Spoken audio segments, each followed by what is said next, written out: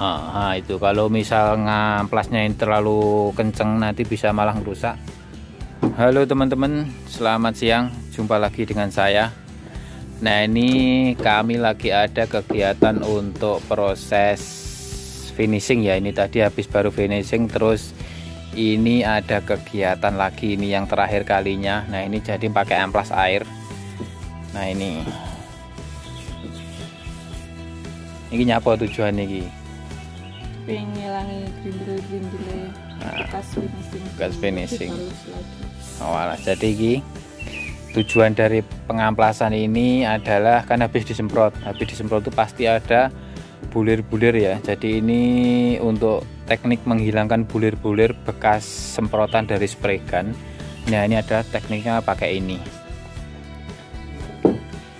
Jadi di amplas ini ngambang ya yang amplas ini caranya ngambang tapi pakai air ya ini amplas kertas nomor 1000 atau 2000 Nah, caranya seperti itu. Nah, ini nanti ya jangan lupa dilap ya untuk setelahnya ini. Supaya bekas amplasan biasanya ada putih-putihnya itu jadi nanti bersih tidak nempel pada frame figura. Nah, seperti itu. Nah, jadi ini nah ini jadi itu adalah istri saya itu jadi dia di ahlinya pada finishing jadi untuk proses finishingnya setelahnya itu biasanya istri saya yang menjalankan tugas jadi ini berdua ya untuk prosesnya ini tadi ada yang putih. Yang putih mau belum Oh yang putih ini udah nih. Yang putih sudah. Nah, ini kan beda halusnya. Ini kadang sebenarnya sudah halus tapi kadang ada bekas bulir. Jadi ada iya bahasa Jawa ini bergidil itu cilik-cilik. Nah kalau ini halus. Nah kalau ini yang belum ini ini juga belum ini. Soalnya ini masih ada bulir-bulirnya nah jadi untuk teman-teman ini adalah tips ya. Jadi untuk yang habis finishing untuk berbagai macam produk kerajinan bisa diterapkan untuk pengamplasan memakai amplas kertas tadi.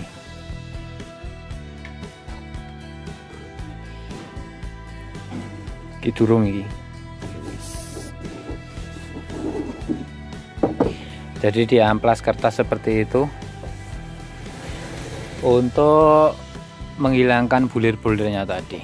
Nah ini istri saya ini jadi yang teman-teman yang megang admin dari Jadi Belanda Ponorogo terus kadoku sama akun YouTube saya ini ya jadi yang megang istri saya ini. Tapi kadang juga membantu di sini finishing. Tapi untuk proses finishing sama proses apa?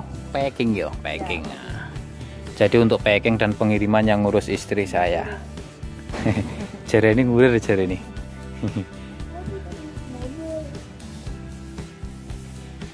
Jadi cukup simpel ya untuk proses pengamplasannya. Tidak memerlukan tenaga yang kuat.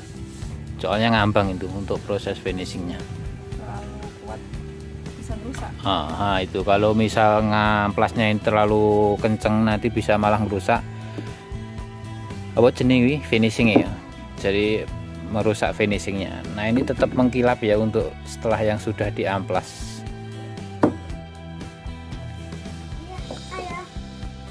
Apa? Nah iki anakku iki. Apa dolanan? Ya anakku ganggu lek anakku. Nah untuk teman-teman yang mau custom ya jadi ini tadi ada berbagai macam produk untuk pernikahan. Ini ada mahar pernikahan. Berbagai macam pernikahan. Ini ada kotak mahar ujung lengkung seperti ini. Ini belum pesanan ya ini jadi untuk stok. Paling yang pesanan cuma ada dua ini kemarin. Tapi yang di dalam sana di yang sudah ready juga ada. Itu ujung lancip sama ujung lengkung yang natural seperti ini nah ini teman-teman yang mau order bisa langsung hubungi nomor WA saya. Nah nanti nomor WA saya kadang yang admin yang tukang adminnya juga istri saya itu. Atau bisa via Shopee atau Tokopedia. Nah ini jadi full ya ini untuk kebutuhan pernikahan. Ini ada kotak seseran. Nah ini kotak seseran ini bahannya sama semua. Nah ini tinggal proses finishing itu untuk membersihkan bulir-bulirnya. Ini jadi sudah di proses satu ini